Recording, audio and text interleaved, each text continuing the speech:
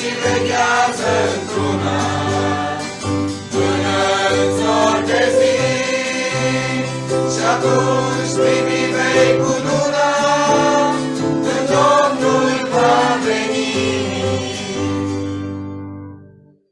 În seara de nămoșlii, acei